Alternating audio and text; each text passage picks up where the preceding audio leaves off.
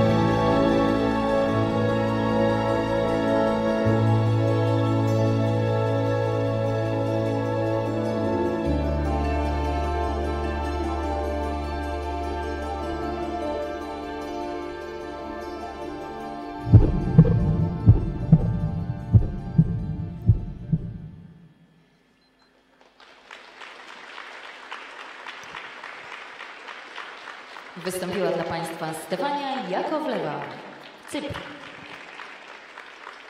Well, Stefania also looked a little tired at the end of the program, but really beautiful posture, elegant when she skates, can really move when she wants to power, get in those knees, pick up speed quickly.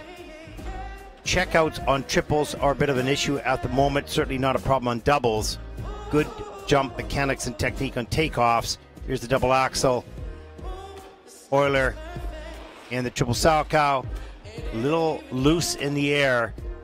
Doesn't get all the way around. In fact, a downgrade in the judging system. Here's the triple Salchow after that. And lays a little bit loose. That was a hard fall to take as well. Had to get back up and get at it. Here's the triple loop.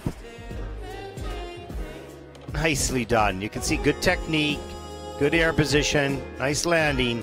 Certainly all there, not all under control throughout the program, but the abilities are there. There's a nice double flip, double toe later in the program.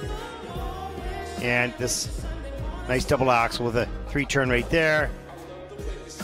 Gets that done as well. So some nice mechanics, good jumping skill and ability. A little stronger in the back with punching that free leg back to stabilize the landings. That Biellmann got away a little bit too much for her. Only level three, missing that last feature.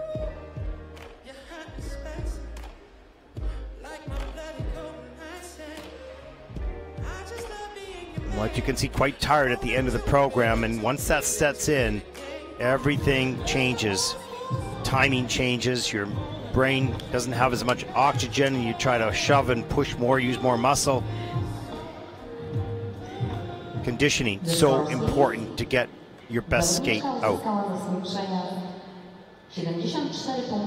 74.05, that's third in the free program, The total competition score of 114.85. That'll put Stefania currently in second place.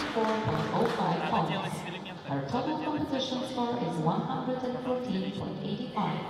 She's currently in second place.